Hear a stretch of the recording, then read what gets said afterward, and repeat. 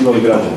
Da, neće biti povećanje, neće biti povećanja univerzalne usluge u pošti.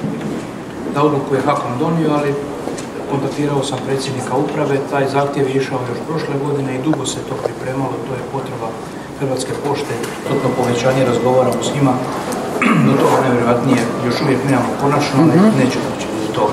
Jer, mislim, ne znam šta je njima u toj inflaciji poskupilo. Zrak.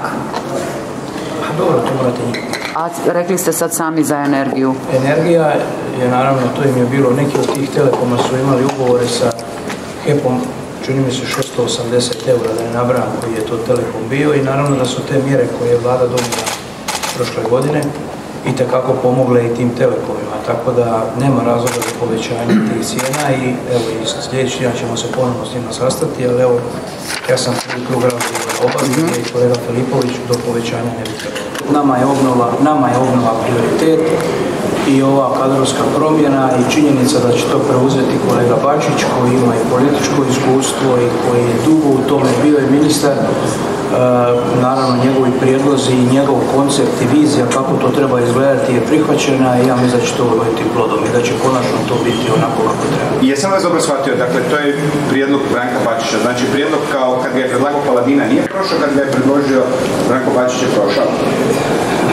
Sad to pokušavate svesti na neku, ovaj, ne znam kako da to nazovem, političku smicalicu, da, da tako kažem, ali nije tako. Znači, prvo ne znam što je predlagao kolega Paladina, nisam to vidio, ali znam što predlaže kolega Bačić i mislim da je to o tome, o tome se raspravlja i u stranci i u vladi i ponavljam, on će to predstaviti u ponedjeljak u Hrvatskom saboru. Ideja je da se to ubrza, ideja je da obnova konačno, kad govorim, naravno, znači ne govorim o cijelokupnoj obnovi, mnogi, mnogi segmenti obnove su krenuli, govorim o izgradnji obiteljskih kuća i konstrukcijskom. Pa dozvolite da o ljudima koji više nisu u vladi ne govorim neke stvari koje su se možda dogodile među nama, iako ja problema nisam imao sa kolegicom Trapišak, ali jučer sam bio gostovao u jednoj emisiji, ne može nijedan ministar biti i ponašati se kao izolirani otok. Mi smo timu i moramo svi zajednički surađivati, nalaziti rješenja, neću reći pomagati jednim drugima, ali razumjeti probleme određenih resora i zajednički ih rješavati. Tako da, još jedna stvar, svi smo mi tu došli na određeno vrijeme, nitko to ne treba shvaćati kao poraz u svojoj političkoj i naravno profesionalnoj karijeri.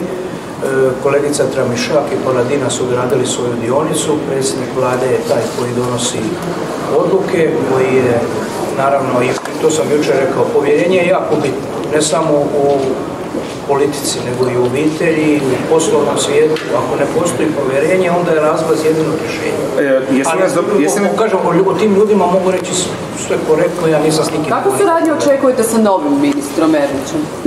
Pa dobro suradnju očekujem, jer poznajem Šimu, on je dugo tamo, on je radio europske fondove u Zadarskoj županiji, bio je državni tajnik tamo, mi smo s njim operativno dosta surađivali kao resor, očekujem dobru suradnju.